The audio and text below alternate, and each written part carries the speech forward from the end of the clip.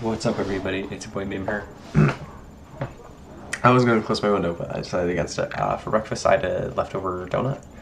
Uh, for lunch, I had quinoa salad and this weird focaccia burger that was at school. Uh, it was wrapped up in tinfoil, and there's just a sign that said "burger with focaccia," and I was like, "What does that mean?" I know what focaccia is, and I know what burgers are, but it turns out it was just a cheeseburger with focaccia bread, and it was a circular bun, and it was a square focaccia bread, which is very silly. That's my parents' show. I'm sorry. Uh, and for dinner, I had some chili that my dad made. That was very good. Uh, nothing has really happened today. My jeans are back. They did get fixed. For those of you who don't know, I brought them to Taylor to get them fixed. And uh, yeah, check it out.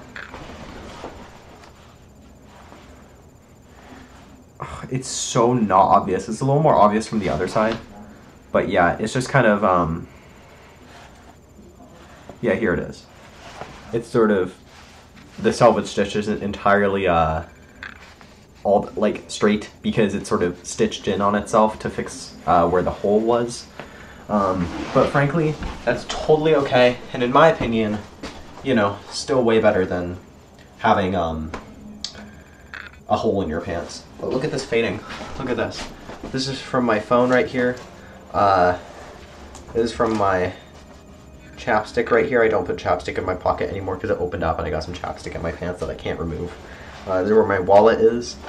Look at those like stress lines out there. Like, like, and on the back here. Notice how like noticeable this patch is. You used to not be able to read it at all. Uh, is where my AirPods are. More stress lines here. Super crazy. Um, yeah, shout out to denim fading for real. That's what happens when you don't wash your jeans as much as people normally do. You just should wash them once every couple weeks. No joke. When do your when do your legs get dirty? You know, for real. Name name last time your legs got dirty, and you're like, oh, I need to wash my legs because they're so dirty. What are you talking about? That's not real. Uh, and also, you know, not to mention, uh, you know, clothing way lasts way longer when you don't wash it after every use because you don't have to. Um, yeah, you know, aside from that, nothing else really happened. Uh, today's the first day back at school from spring break, so that's cool, I guess.